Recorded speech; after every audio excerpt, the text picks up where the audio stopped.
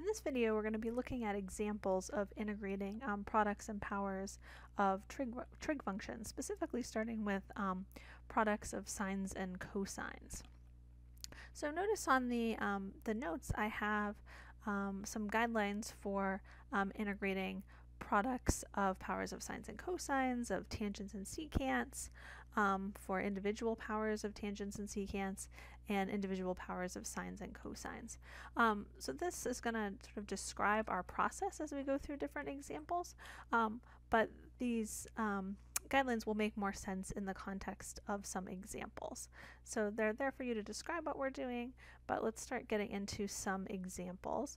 Um, notice that I do um, have a note that I've just added on here that although we have the description of several different types here, um, if you encounter something that's involving some trig functions, but not specifically one of those listed combinations, um, it's going to be useful to, to convert to sines and cosines.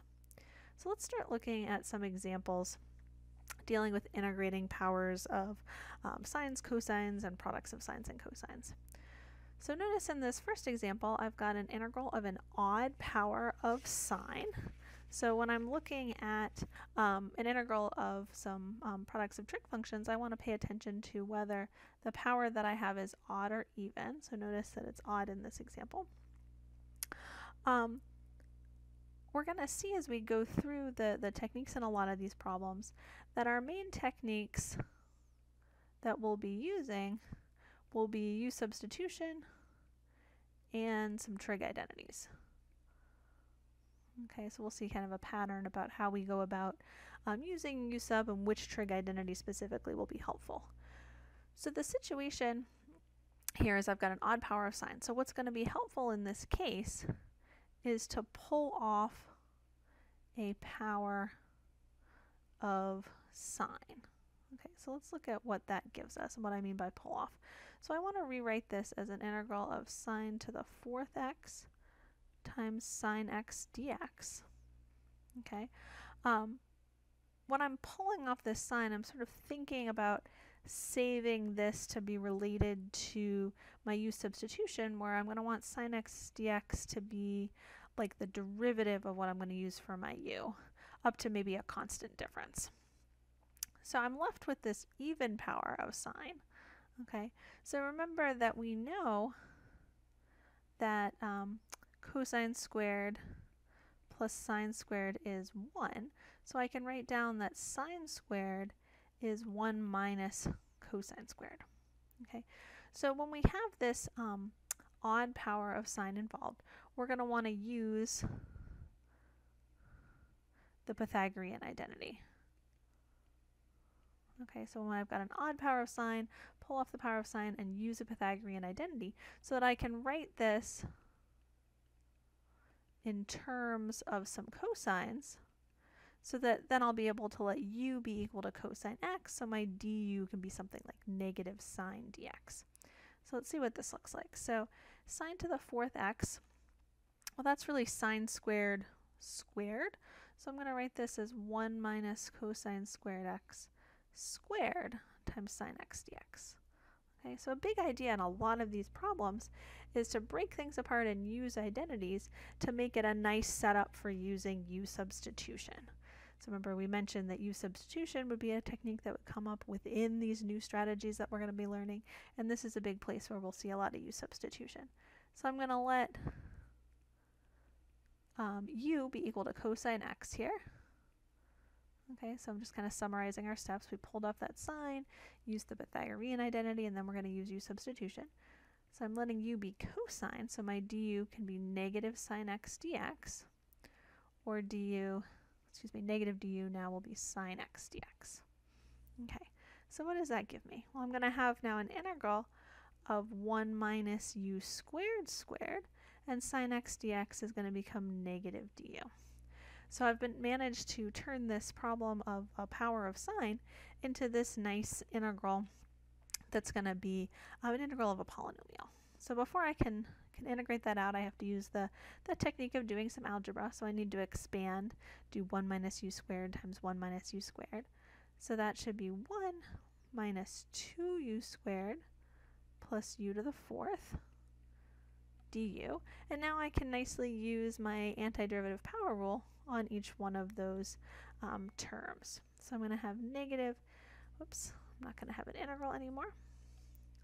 I'll have u minus 2u cubed over 3 plus u to the fifth over 5 plus c. Okay, and now we know that for our final um, step, I need to put this back in terms of x because I was trying to solve for, or trying to evaluate sine to the fifth x dx. So this is going to become negative cosine x minus 2 thirds cosine cubed x plus cosine to the fifth x um, over 5 plus c.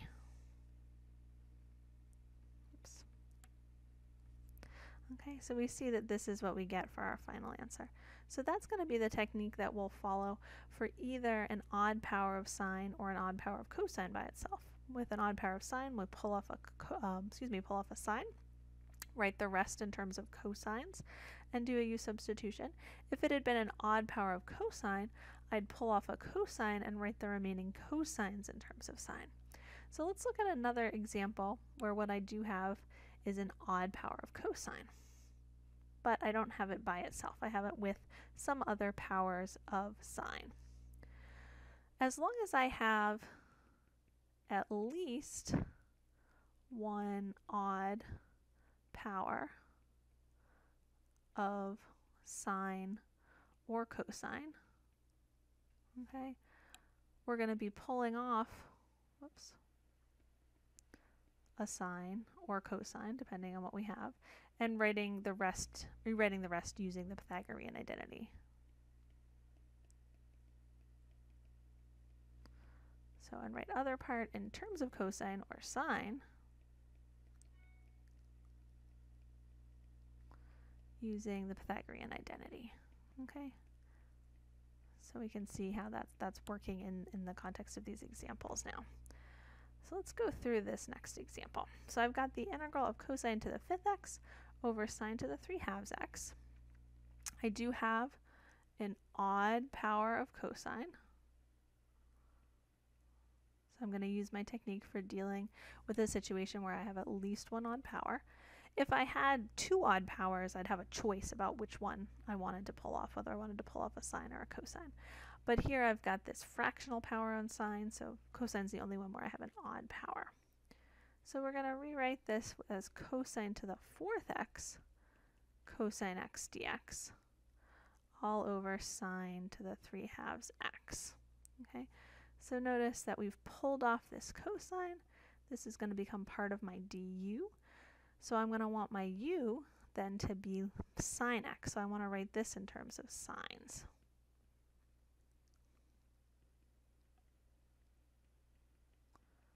Okay, well that means I'm going to be using my Pythagorean identity.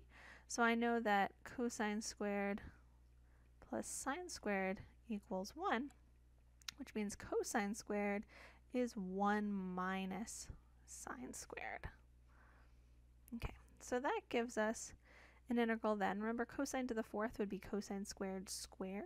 So I'm going to have 1 minus sine squared squared will give me back cosine to the fourth times cosine x dx all over sine to the 3 halves x. So we see how we're using a similar technique to above.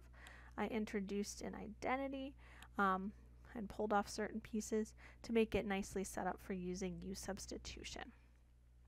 So because I pulled off a cosine here and not a sine, my u will now be sine x instead of cosine x like it was in the previous example. So we'll do u equals sine x. So my du can be cosine x dx. Okay, so I can rewrite my integral then as 1 minus u squared squared. The cosine x dx part becomes du, and then this is all over u to the 3 halves. Okay, so like in the previous example, I've been able to take this kind of messy looking integral of some trig functions and turn it into an integral of some nice um, powers of u. Um, an integral here of 1 um, minus 2u squared plus u to the fourth when I distribute 1 minus u squared times 1 minus u squared. This is all over u to the 3 halves.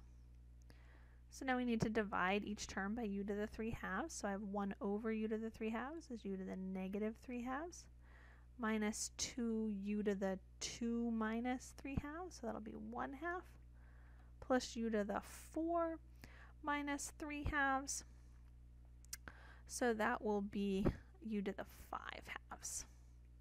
Okay, and then we're ready to take the antiderivative of each one of those terms.